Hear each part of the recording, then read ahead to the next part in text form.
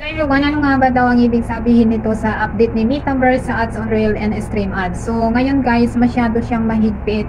Mayroon nakalagay dito is effective in October 6, not eligible or not being na guys sa mga hindi sumusunod sa policy niya. So, dapat guys, nakapost ito sa ating Facebook page or profiles na pagmamayari talaga natin ang ating mga video guys kailangan po naka-enter fees tayo guys. Hindi lang kung sino-sino ang pinapagamit natin sa ating account para lang mag-live or gumawa ng mga content kasi madidetect yan ni Metaverse using by IP address guys. So kung ang akala nyo is na pwede siyang paggamit nyo sa iba guys para lang mayroon kayong may content. Hindi po yun guys. Kailangan po talaga at the same address nyo guys ang paggawa ng mga content or video nyo. Kung halimbawa ikaw ay nasa ibang bansa nadidetect yan ni Metaverse using by MAC address guys. And bago kayo bayaran ni Metaverse guys kailangan po na kumpleto ang kanyang underboarding program. Kailangan naabot nyo yung minimum ni Metaverse na 100 USD kapag kayo ay sa Star Money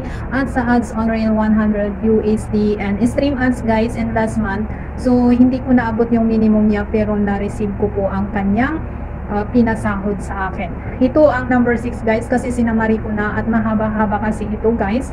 Ito yung pinakama dapat nyong sundin.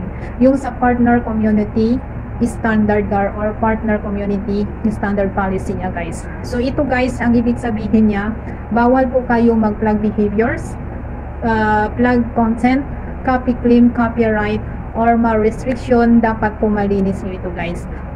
Para malaman po natin ang profiles transparency or ads library natin guys kung ito ay okay, so magpunta lang po tayo sa ating menu. Din dito sa about profiles transparency, see all. Sa baba niya ito guys sa ads disputes, go to ads library. Then the system status, i-click nyo po yan. Then dito makikita nyo na yung ads library report, then IPI, brand content, and dito sa baba guys, see details.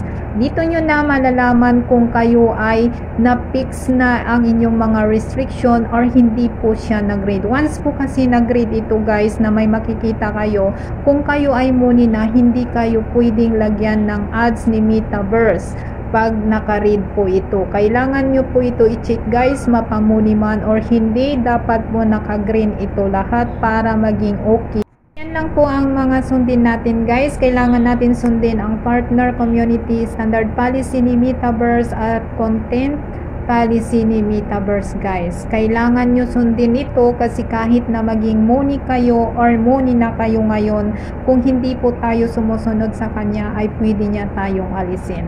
So ganun lang guys and I hope nakatulong ito sa inyo and thank you.